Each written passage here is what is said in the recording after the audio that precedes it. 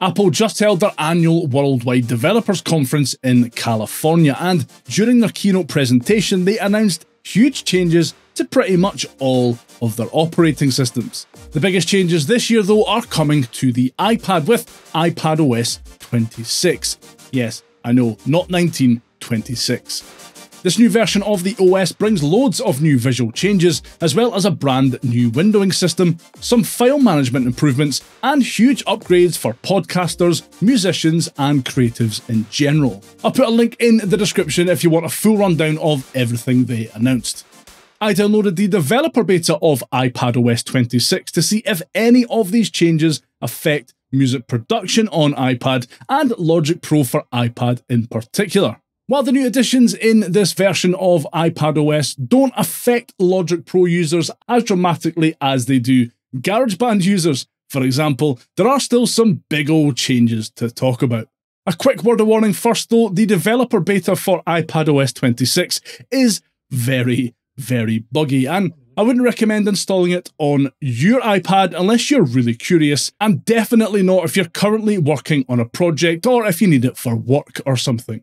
There is a likely far more stable public beta for iPadOS 26 coming next month, and the full release will arrive in the autumn, so holding off for one of those is probably the best idea. Anyway, Apple added a new way to import files and samples into Logic Pro for iPad with version 2.1 and the introduction of sample folders. But the process is now even easier with iPadOS 26. In iPadOS 26, you have the option of the very macOS like windowed apps to have multiple apps open in their own resizable windows. With this setup selected, I can tap and drag on the bottom corner of Logic Pro for iPad's window to make it smaller. If I then tap on the empty space, I can open another app and have it open in its own window on the same screen at the same time. If I select the Files app, I can then navigate to a folder full of samples, for example.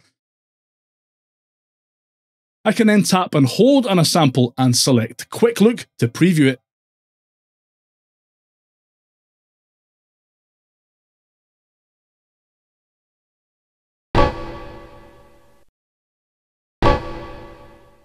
Then I can simply drag and drop the sample from the Files app window straight into Logic.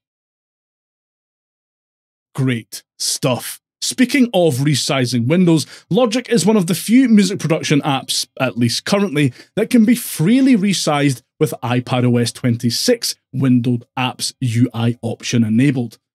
You just need to tap, hold, and drag the bottom highlighted corner, and you can resize Logic's window to pretty much any dimension you want. Other apps like GarageBand or Cubasis 3, for example, can only be resized a little bit, so this is great for flexibility. macOS style menus have been added in iPadOS 26. Just swipe down from the top of the screen to access them.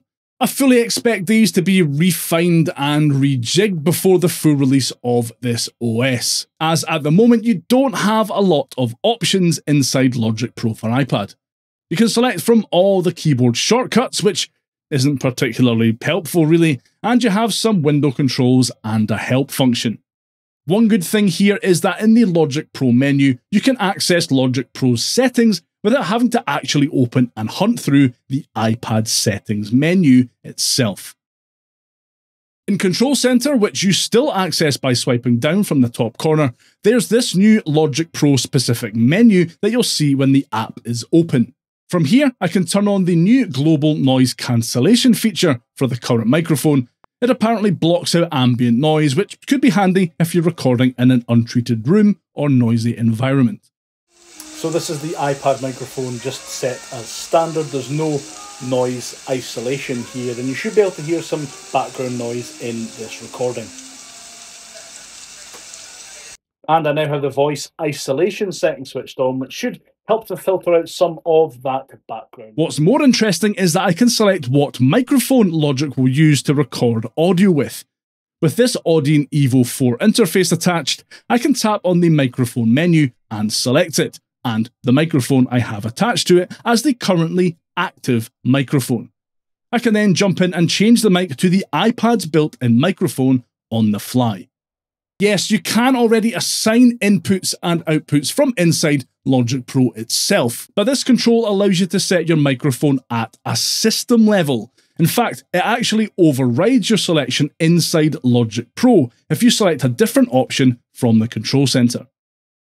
Very interesting, and it's great to see macOS Core Audio still system level stuff coming to the iPad. Nothing massively earth shattering or groundbreaking in iPadOS 26 for Logic Pro for iPad users then. Though the big star of the OS overall is undoubtedly the new windowed apps option, which makes working with samples and files much more straightforward at least.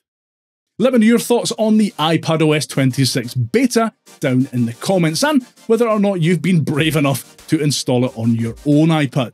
Subscribe to the channel, bash the bell, strike the like, all that YouTube stuff below as well. I really appreciate it, and I'll see you in the next video.